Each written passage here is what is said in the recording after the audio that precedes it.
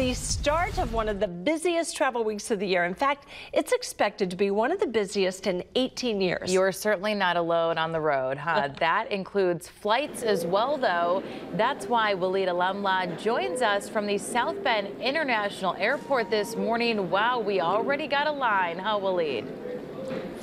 Yep, you guys can see it growing. It's already the holiday weekend and the lines are starting to pile up. Or well, it's coming to the holiday weekend and the lines are starting to pile up as you guys can see behind me. We got travel weekend coming up, Thanksgiving weekend coming up, and that means people are going to be out on the roads and taking the flights as well too. And we are actually expecting one of the busier travel weekends in uh, in the past couple years. According to AAA, the numbers don't lie. This is gearing up to be a busy travel week with more than 55 million Americans expected to travel over 50 miles from home this year. And of those 55 million, over 4.5 million of those are going to be flying out of airports all across the country. That's the highest number of expected flyers since 2005. And actually, today and tomorrow, Tuesday and Wednesday, are the busiest travel days of the year.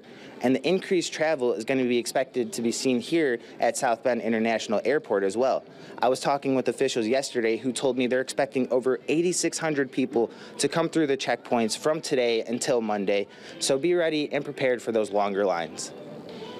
Yeah, so the busiest travel days are going to be Tuesday and Wednesday of this week, and then Sunday and Monday. So travelers really need to make sure that they pack their patience. There will be a lot of people through airports. While um, you know we see increased traffic this time of year here at South Bend, you still don't see those huge, huge lines that you're going to see in those bigger hubs where you're connecting through or whatnot. Or maybe when you're returning home, be prepared for that you know two-hour um, arrival time before your departure.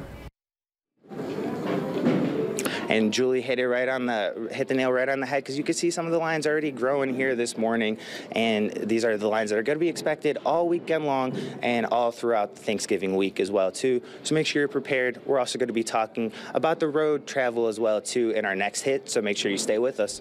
Uh, and I know you're going to be talking to those travelers. They look a little busy, but maybe you can find one or two that's not rushing to uh, find their flight.